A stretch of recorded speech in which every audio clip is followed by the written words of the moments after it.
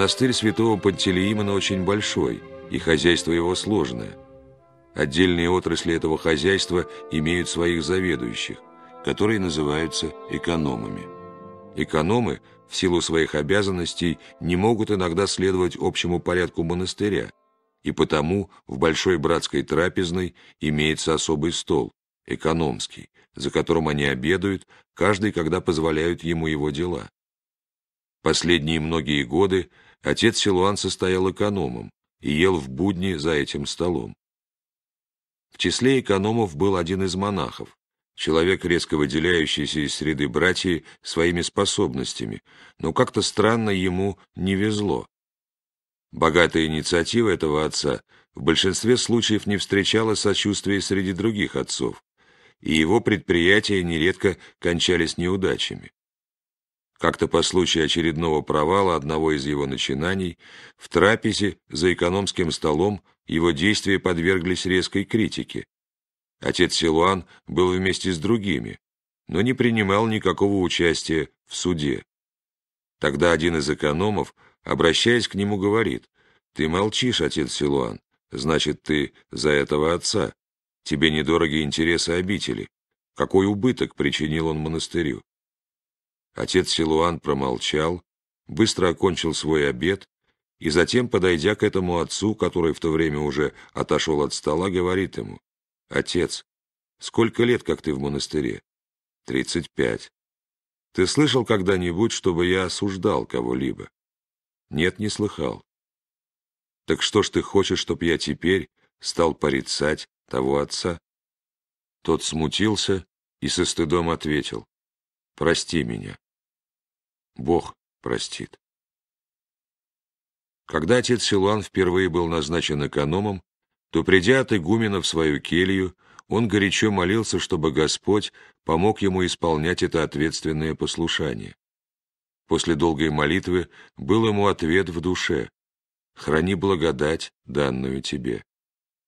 Тогда понял он, что хранить благодать важнее и дороже всех прочих дел, и потому, вступив в свое новое послушание, он неусыпно следил за тем, чтобы не прерывалась молитва его. Он имел под своим началом до двухсот рабочих. Утром, обходя мастерские, он давал в общих чертах указания старшим мастерам и затем уходил в свою келью плакать о народе Божием. Сердце его болело от скорби за рабочих. Он оплакивал каждого. Вот Михаил оставил свою жену с детьми в деревне и здесь за гроши работает. Ну каково ему быть так далеко от дома, не видеть ни жены, ни милых деток своих. Вот Никита только что женился и оставил свою молодую беременную жену и старуху-мать. Каково было им отпустить этого еще юношу, любимого сына и мужа? Вот Григорий оставил стариков родителей, молодую жену и двух малышей-младенцев и пришел сюда работать за кусок хлеба. И что он выработает здесь? Какая же бедность у них, чтобы решиться оставить всю семью? И какая должно быть у всех у них скорбь? И вообще, в какой ужасной бедности живет весь этот народ? Вот Николка, совсем еще мальчик. С какой болезнью отпустили его родители так далеко, среди чужих людей, ради нищенского заработка. Как должно скорбеть сердце родителей.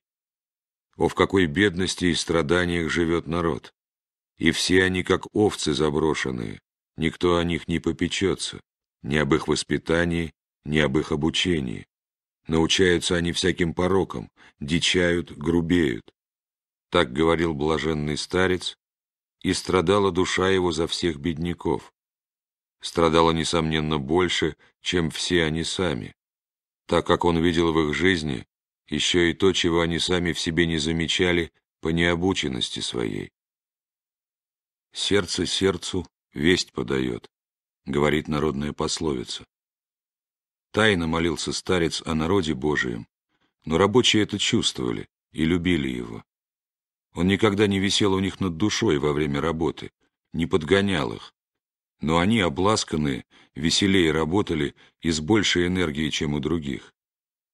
Другие экономы наблюдали обительские интересы, а кому неизвестно, что когда привходит забота об интересах, тогда человека не видят. Интерес, подлинный интерес обители, старец видел в том, чтобы соблюдалась заповедь Христа. «Господу всех жалко», — говорил он, да и не только говорил, но и сам, исполненный Духа Христова, жалел всех. От видения окружающей жизни, из воспоминаний прошлого, от глубочайшего личного опыта, он жил страданием народа, всего мира, и не было конца его молитве. Он молился великой молитвой обо всем мире. Он забывал себя, он хотел страдать за народ от жалости к нему, за его мир и спасение он влекся проливать кровь свою и проливал ее в молитвах. «Молиться за людей — это кровь проливать», — говорил старец. Нужно ли говорить о том, показателем какого молитвенного напряжения и плача являются эти слова? Однажды мы спросили старца, хлопотливое экономское послушание при необходимости общаться со множеством людей не вредило ли монашескому безмолвию? На это старец ответил. Что есть безмолвие? Безмолвие — это непрестанная молитва и пребывание ума в Боге. Отец Иоанн Кронштадтский всегда был с народом, но он больше был в Боге, чем многие пустынники. Экономом я стал по послушанию, но от благословения игумена мне на этом послушании было лучше молиться, чем на Старом Русике, куда я по своей воле отпросился ради безмолвия. Если душа любит народ и жалеет его, то молитва не может прекратиться. Невозможно не отметить одну замечательную черту в характере старца, а именно его отношение ко всякому несогласному и инакомыслящему. Самым искренним и глубоким бывало его желание понимать такого в наилучшем возможном смысле и не оскорблять в нем того, что для него свято. Он всегда оставался самим собой. Он до последней степени был уверен, что спасение во Христовом смирении.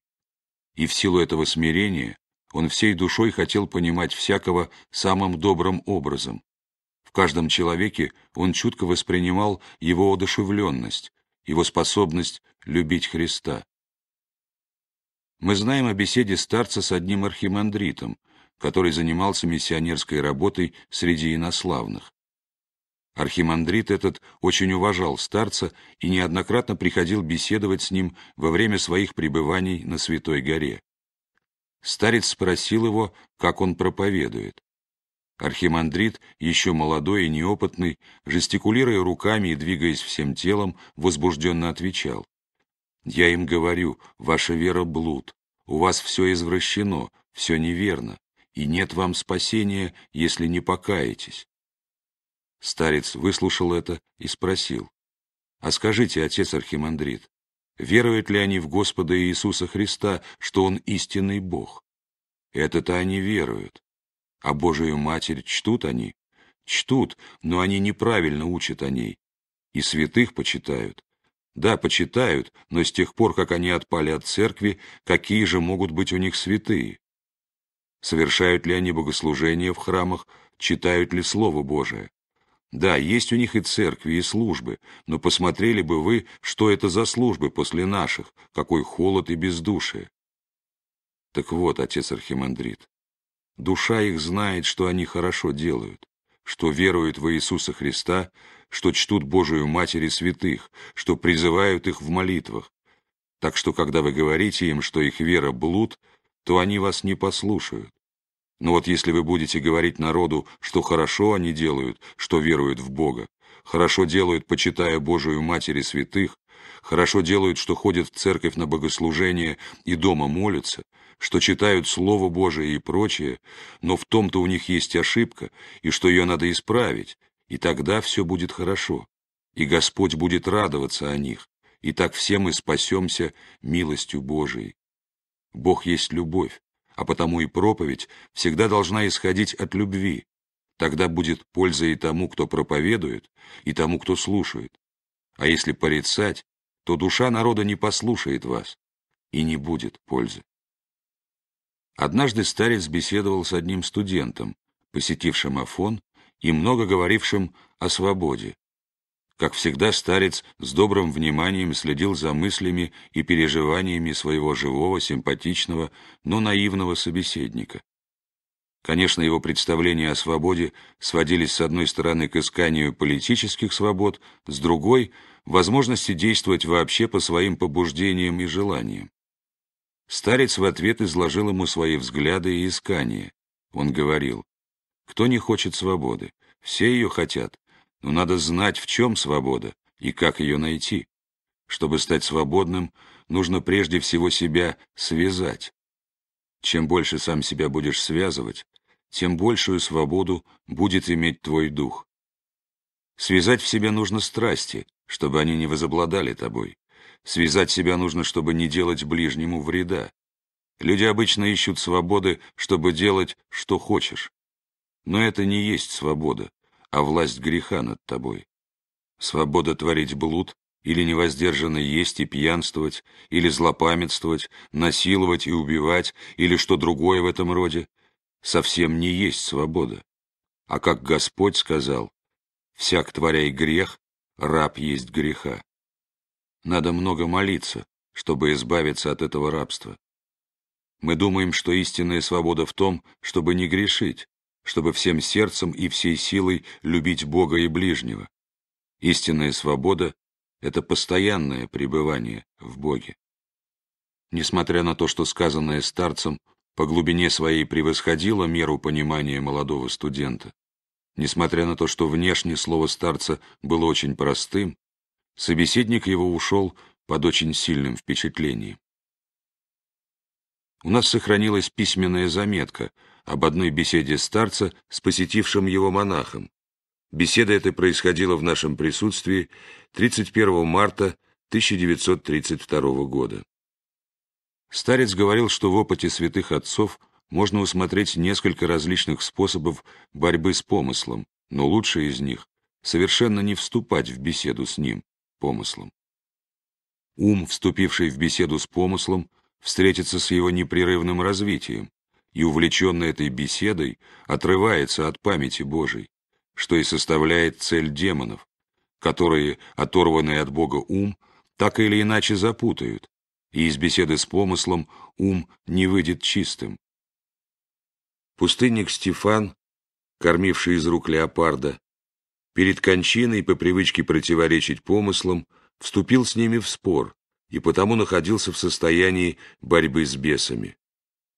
Преподобный Марк Фраческий за то, что перед исходом утешал свою душу исчислением своих трудов, был задержан в воздухе на один час, а это на один час означало, что существовала опасность так и прибыть. Другие отцы были более умудренными в духовной брани.